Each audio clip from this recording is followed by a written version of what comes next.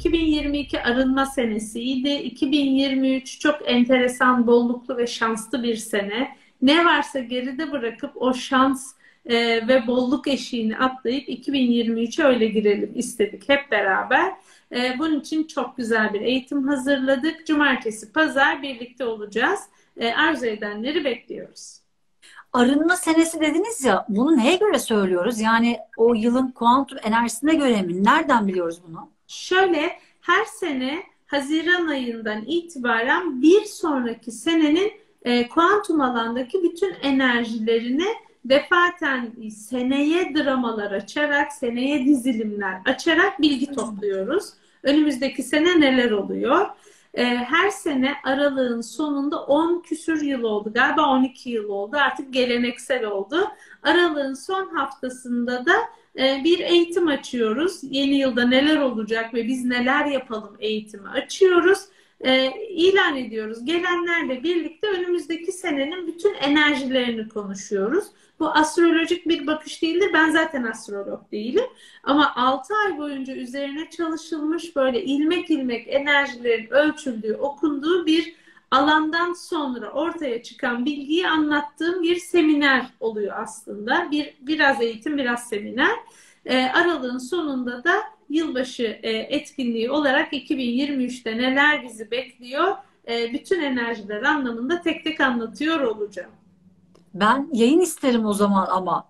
Tabii ki. Aralığın sonunda. Şu an Tabii yani ki.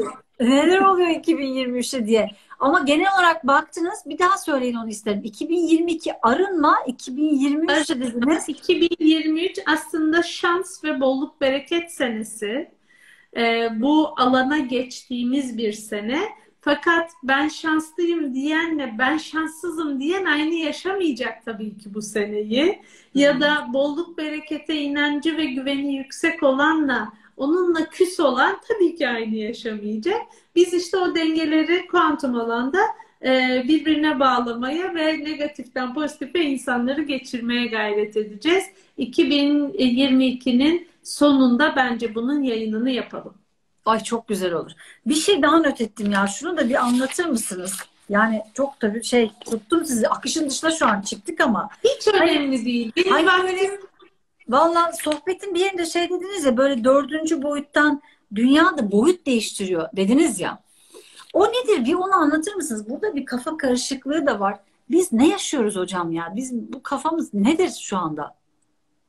Tabii ki boyutlar konusu yine bir akşamın konusu. Fakat şöyle özetleyelim. Ee, üçüncü boyut korkunun, şiddetin, öfkenin daha hakim olduğu bir boyut idi. Zaten işte dünya savaşları, insanın insana, doğaya ve canlıya olan e, kıyma haline bakar isek tabloyu görebiliyoruz. Dördüncü boyut aslında üçten dörde yani sevgiye bir adım attığımız, farklılaştığımız bir boyut.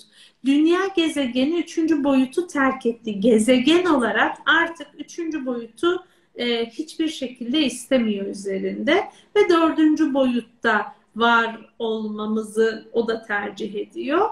Dördüncü boyut ne demek? Sevgiye biraz daha yaklaşmak demek. Öfkeyi, şiddeti, korkuyu arkada bırakmak, sevginin, neşenin, birlik bilincinin e, biraz daha arttığı bir boyut. Beşinci boyut e, çok daha sevgi yoğun bir boyut ama onun için vaktimiz var. Dünya dördüncü boyuta geçti, beşe doğru ilerlemekte. E, çift rakamlı boyutlar 2, 4, 6, 8 gibi çift rakamlı boyutlar ara boyutlardır.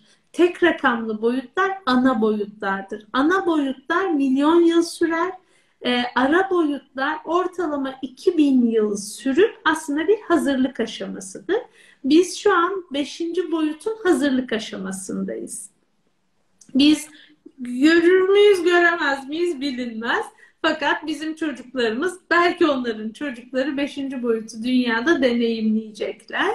5. boyuta geçtikten sonra tabii ki bu bir bilinç boyutu da aynı zamanda. Sadece sevgi boyutu değil e, bilincin de açıldığı, bilincin de birçok katmanın açıldığı bambaşka bir boyuttan bahsediyoruz. Zaten yeni doğanlarda bu farkı görüyoruz. Yeni doğan bebekler nasıl geliyor? Biz hep aynı şeyi söyleriz. Biz böyle değildik deriz ya da 20 sene önceki çocuklar böyle değildi deriz. Çok farklı bir bilinçle geliyorlar. Çünkü artık onlar beşinci boyuttan aramıza dahil oluyorlar. İnsanlığı çekmek, götürmek ve onlara yeni frekanslar ürettirebilmek için beşinci boyuttan geliyor yeni gelenler.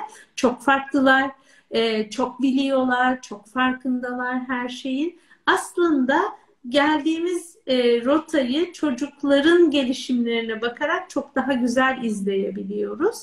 E, bu anlamda yolumuz beşinci boyut ama şu an dördüncü boyuttayız. Bu sevgiye en yüksek frekansa, sevgiyle kastettiğim bu en yüksek frekansa bir adım daha yaklaştığımız, onunla ilgili bir eşik daha atladığımız yeni bir bilinç seviyesi demek.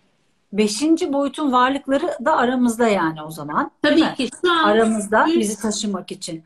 3, Peki, 4, 5, 6 bir arada yaşıyoruz. Altıncı ha, onu soracaktım. Daha üst boyutlardan da var mı diye. Altıncı boyutun da mı varlıkları var aramızda? Altıncı boyutun varlıkları da var aramızda. Ee, ve bunlar aslında ruh seviyeleri. Yani üçüncü boyutu daha önce yaşamış, bu devri kapatmış. Dördü, beşi de çok hızlı geçmiş ya da bu devri yaşayarak kapatmış. Ruhsal olarak ve bilinç seviyesi olarak altıncı boyuta geçmiş. Ve e, işte normal bizler gibi yaşayan insanlar. Fakat e, baktığımızda sokakta yani sokak derken günlük hayat ve kalabalık e, kastıyla söylüyorum. Sokakta iletişim biraz zor. E, hepimiz bu konuda biraz zorlanıyoruz. Çünkü 3, 4, 5, 6 aynı anda bir arada hareket ediyoruz. Dolayısıyla birimizin söylediğini diğeri hiç anlamıyor olabilir. Bunlar bazen hane içinde de yaşanıyor olabilir bir kişi üçten dörde geçti ama artık iletişim eskisi gibi olmayabilir. Dediğim gibi rezonans yasası gereğince burada bir çekme e, hareketi var enerji anlamında. Az yoğun çok yoğun akmak zorunda. Fakat günlük hayatta da bunun etkilerini çok görüyoruz. E, iletişim konusu en çok çalıştığımız konulardan birisi. Şimdi dördüncü boyutun diyelim dördüncü boyut seviyesinde. Şimdi hepimiz seviye seviyeyiz ya. Ruhsal Bilinç seviyesi bu arada bunlar değil mi hocam? Evet. Böyle düşünmek lazım. Hem Peki, dünya hayatı bilinci hem ruhsal bilinç. ikisi senkronize birlikte hareket ediyor. Tabii bir yandan da hayat amacımıza ne kadar yakınız? Hayat amacımızı ne kadar gerçekleştirdik? Ne olmaya geldik de ne olduk? O ikisinin arasındaki fark az mı çok mu? Bunlar yine boyutların bilinçlerinde çok önemli. Dört sevgi, beş hakiki sevgi artık. Herhalde orada yargı falan yok. Altıda ne var? E, altıda e, tabii ki sevginin en üst versiyonu. Aslında devam ediyor. Yedi var, sekiz var, dokuz var. E, boyutlar devam ediyor. Fakat bir boyuttan sonra bedenlenemiyoruz. E, çünkü e, beden o frekansı taşıyamıyor. Yani e, enerjimiz bir bedenin içinde durabilecek bir frekans olmuyor. O zaman da e, ruhsal varlıklar olarak hayatımıza devam ediyoruz. Kaçtan sonra taşıyamıyoruz? Altıdan sonra mı? E, yediden sonra taşıyamıyoruz. Yedi e, özel varlıklar olarak gelirler. E, özel görevli gelirler. Belli bir sürede bir hayatı deneyimlemek ve bir işi yapmak üzere gelirler. E, yedinci boyut varlıkları e, bir peygamberlerdir. Onlar ayrı. Bir de e, ben bu örneği vereceğim. Hoşumuza gider gitmez ama Atatürk gibi e, sadece ama bir... geçiyordu biliyor musunuz? Evet bir görevi yapmak üzere belli bir yaşam dilimi için gelirler. Ee, bunların özellikleri vardır. Kısa boylu olmak zorundalar. Çünkü beden titreşimleri çok yüksek olduğu için uzun boyda bu titreşim beden sağlığına çok hızlı zarar verir. Bu yüzden kısa boylu olmaları gerekir.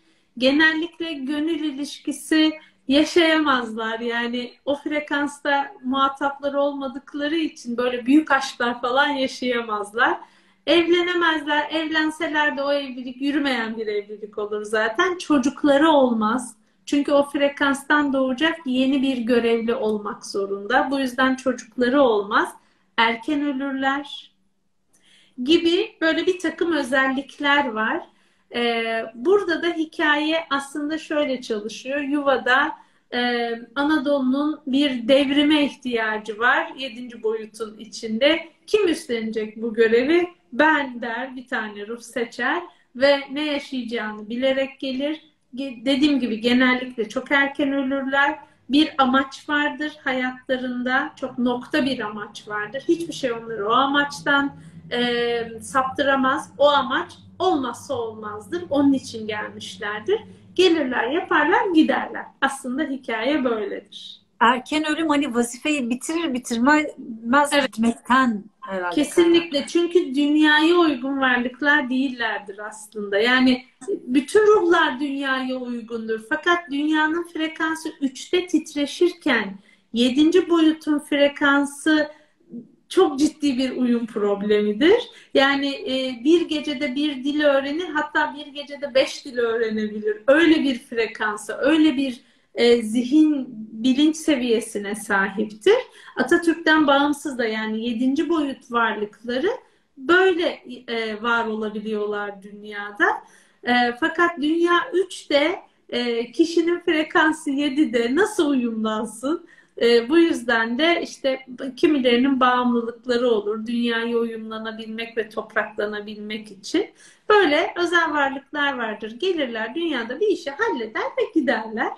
E, bunlar yedinci boyuttan gelirler. E, onun üzerinde zaten yedi ancak özel görevle bedenlenmek demektir. Bir bedenlenme varsa onun dışındaki boyutlarda bedenlenme olmaz. Çünkü beden taşıyamaz. Yani fiziksel beden bir kısıtlılık ve bir yoğunluk demek. Çok yüksek bir titreşimi bu bedenin içine koyduğumuzda maalesef beden onu taşıyamıyor. Bu yüzden de 8'den sonrası bedenlenemiyor. Size bir şey söyleyeyim? Yani muazzam bir şey oturdu kafamda. Yani şu an o kadar yalın bir dille ve güzel anlattınız ki hani bu kısmı da e, bilemiyorum. Yani işte izleyenlerimiz yorumlara yazsınlar. Çok teşekkür evet. ediyorum Ebru Hocam. Ben de çok teşekkür o. O yayını bekliyorum bak. 2023'te o yapacaksınız bir hafta çalışma.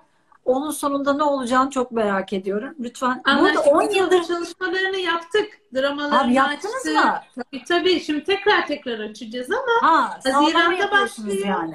Tabii Haziran'da başlıyor onun çalışması. Ee, sene sonuna kadar devam ediyor. En son çalışmaları yapıp kapatıyoruz. Ondan sonra da e, semineri ilan ediyoruz. Normal Peki 10 yıldır böyle. yapıyorsunuz Ebru Hocam. Hani istatistik önemli bir şey neticede. Evet. O 10 yıldır hep mesela öyle mi olur? Nasıl olur? Hep öyle oldu. Kaça kaç? Hiç şaşmadı. Hiç şaşmadı. Hiç şaşmadı. Evet. Aralık ayında yapıyoruz yayını. Tamam, Ocağı bekleyemeyeceğim.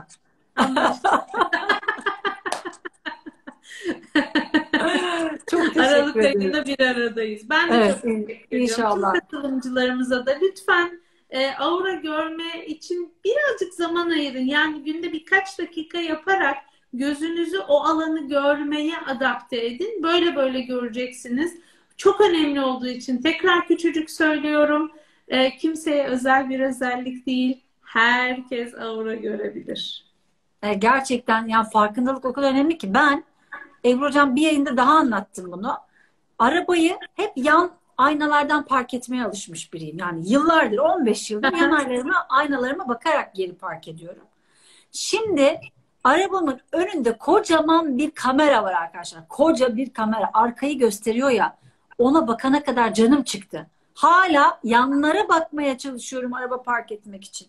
Niye? Çünkü bütün alışkanlığım orayı görmek önümdeki kocaman kamerayı göremiyorum ya. Göremiyorum. O kadar net bir örnek ki bu. Hani hayatın içinde niye göremiyoruz işte odaklanmayınca? Niye aktive edemiyoruz o yeteneği? Yemin ederim çalıştım size. Oraya bakmak için yani. Yanları kapattım. Sadece oraya baktım falan derken alışmaya gayret gösteriyorum hala. Süper. O çok güzel bir da görürüz arkadaşlar. İnanıyorum ben buna. Muhakkak görürsünüz. Görmüş de bir sürü insan olacaktır şimdi bize yazacaklar. Muhakkak e, görebilirsiniz. Bu arada e, bir app'imiz çıktı. Hemen Aa, onu da e, ilan edeyim. Yaşam Tasarım Merkezi hem e, Android telefonlar için hem de iOS telefonlar için e, Google Play'de App Store'da Yaşam Tasarım Merkezi dediğinizde app'imizi bulup indireceksiniz. Ücretsiz Değil mi? Ücretsiz. Evet. Tamam. Üye, üye olmanız gerekiyor ki biz size ulaşabilelim. Buradan e, çok yeni çıktı. Birlikte test edeceğiz. Birçok aşamasını test ettik ama yine de e, her zaman yeni bir göz, yeni bir kıymettir. Bu anlamda e, geri dönüşleriniz çok önemli. Şimdi oraya haftalık bilgiler ekleyeceğiz. Günün olumlamaları, onlar size ulaşacaklar. Ee, belki birkaç hafta daha zamana ihtiyacımız olabilir bu iletiler için. Ama yakında e, bunlar da başlıyor olacak. Bütün ajandamız orada. E, bütün ekip arkadaşlarım orada. Çok kıymetli ekip arkadaşlarım var. Hepsine kucak dolusu sevgiler. Herkes oradan ulaşabiliyor olacaksınız. E, orayı da e, bol bol kullanın. Çünkü size çok güzel geri dönüşleri olacak hepin. Telefonlarınızdan telefonlarımızdan yaşam tasarım merkezini ücretsiz olarak indirebiliyoruz arkadaşlar. Evet. Daha ne yapsın? Daha ne yapsın? Daha ne yapsın? Daha Siz sorun biz anlatalım aslında. Vallahi. Siz sorun biz anlatalım. Çok teşekkür ediyorum. İyi geceler ben diliyorum. Çok keyifli bir yayında. Benim için de öyle. Çok teşekkürler. Oğlumu da öperim. Görüşmek Görüşmek üzere. üzere sevgiler.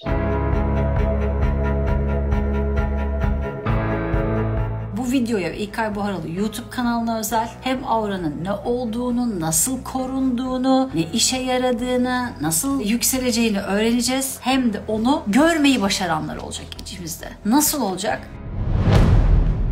ne oluyor da auramız korunaksız kalabiliyor ya da herhangi bir alanında bir yırtık, bir delik oluşturabiliyor?